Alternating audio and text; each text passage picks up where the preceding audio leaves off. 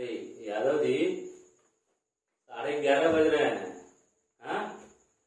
चार किलोमीटर आने में आपको एक घंटा लग गया। अरे सर एक घंटा का होता है। इतना समय तो यहाँ गाँव देहात में लोग खाना खाने में उबासी लेने में बिता देते हैं। वैसे यहाँ का क्या मामला है? यादव जी यहाँ का भी मामला समय वाला ही है।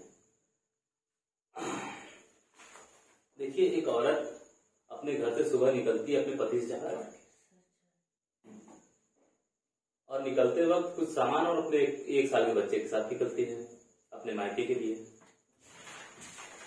लेकिन उस औरत की आधी जली हुई लाश उसके पति के घर में ही पाई जाती है। समझ में नहीं आ रहा है कैसे?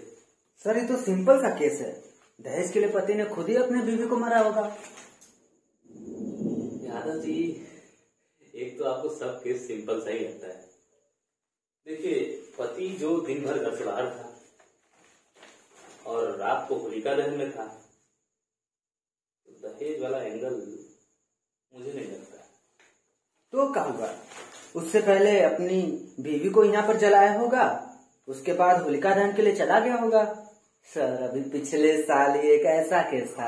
यादव जी यादव सुनिए अभी आपको ये अपना पुराना केस मत सुनाइएगा। अभी पूरा फोकस हम लोग इस, इस नए वाले केस पे करते हैं ठीक है?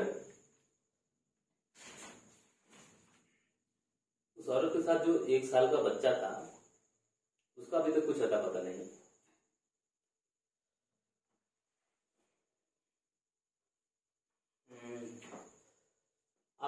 आप एक काम करिए। अखिलेश से उस औरत यानी सविता की और उस बच्चे की एक एक फ़ोटो ले लीजिए। इसके बाद हम लोग सीधे निकलते हैं। निकलते हैं? पर कहा सर? गायपुर सविता के मायके। सर पहुँचते पहुँचते तो सुबह हो जाएगी ना? और कल होली भी तो है। ठीक है सर। चलते हैं। यादव जी आप भी ना